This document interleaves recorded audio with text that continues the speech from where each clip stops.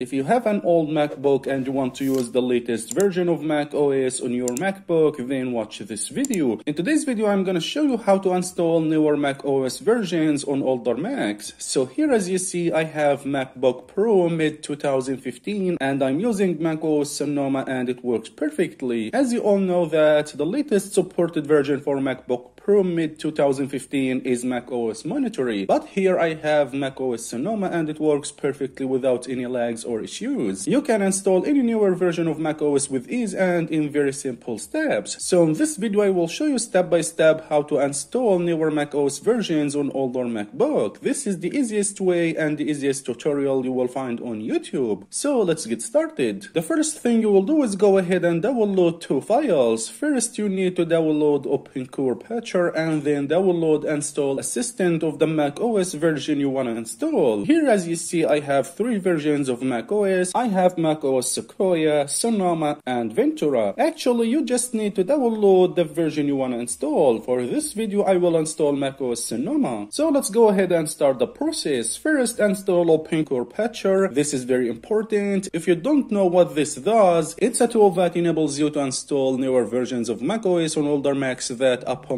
longer supports by patching missing driver support into the OS at boot time using the OpenCore bootloader. Okay, Okay, click continue. On install location here, make sure to install it on the version you use. Okay, I'm using macOS Monterey, so I will install it on it. Type your Mac password and hit install. Wait for the installation to finish. Okay, the installation was successful. Click close. Now go ahead and open OpenCore Patcher. This is the main interface. I will quickly explain these options and what to do. With build and install OpenCore option, this prepares provide drive to be able to boot unsupported macOS version. With create macOS installer option, you can download and flash a macOS installer for your system. And with post and install root patch option, this will install hardware drivers and patches for your system after installing a new version of macOS. Okay, go ahead and click build and install OpenCore option. It will install the necessary files. Here click install to disk. Now you should see your hard drive, click on it. Now here guys, make sure to install it on this volume which called EFI. If you don't see this volume, don't install it. Okay, the files has been installed. Now go ahead and reboot your Mac. I will reboot my Mac. Okay, once you hear the start up sound, press and hold option button. Once you see this, go ahead and open EFI boot option. Okay, here open your Mac version. I will open Monterey again. Okay, now go ahead and open disk utility. Now here in disk utility, go to the internal disk. If you don't see the volumes, just click on this button here and click show all devices. So here as you see, I'm using macOS Mojave and Monterey. Go to container disk here, right click. Now here click add APFS volume. Here type the name you want, just type the name of the version you want to install. Since I'm going to install macOS Sonoma, so I will type Sonoma. In the format here, make sure it's APFS. Now click add. Okay, operation successful. As you see, now here we have the volume. This is where we are gonna install the newer macOS version. Now go ahead and open install assistant.pkg file. Okay, click continue. Here make sure to install it on the version you are using. Don't install it on the new volume that we created. Click continue, install, type your Mac password and hit install. Okay, installed successfully. Go to the launchpad and open install Mac OS Sonoma or whatever you are installing. Click continue. Agree. Now here the important step, click show all disks. Now here install it on the new volume that you created. This is it, click continue, continue. Type your Mac password and hit unlock. Now just wait for the installation to finish, it will take about one hour. I will skip this. Okay, the installation has been successfully done. Go ahead and click restart. Okay, again, once you hear the startup sound, press and hold option button. And as you see here guys, now we have macOS Sonoma, but we are not gonna open it from here. We will open it from EFI option. So go ahead and click on EFI boot. Alright, as you can see, here we have Sonoma. We will open it from here so we can complete the setup. Okay, now just go ahead and complete the setup so we can go to the last step. I will speed up the video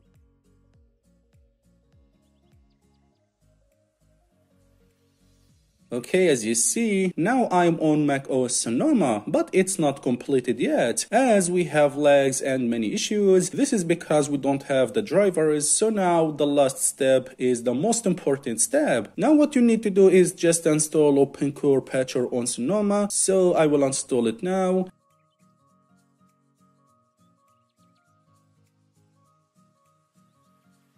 Okay, it's now installed. I will open it. Go ahead and click build and install OpenCore. Okay, done. Now what you need to do is click on post install root patch. This will install hardware drivers and patches for our system so it can work without any lags or issues. As you see, it will show you all the drivers that you need to install. Click start root patching. It will download the necessary patches, so just wait for it. In case the download fails from here, then I recommend you to download it from GitHub and manually install it. To do that, just Google this KDK build 23H 5 to 7. You may see a different number depending on the version you are installing, so make sure to download the right one. I've downloaded it, so I will install it.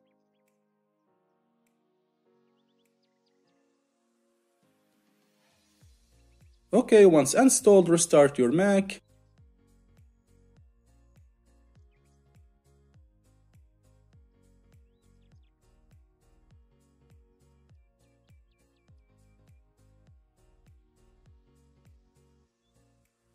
Now go ahead and open Core Patcher. Go ahead and click install, post install root patch. Okay, now it will start patching our Mac, just wait.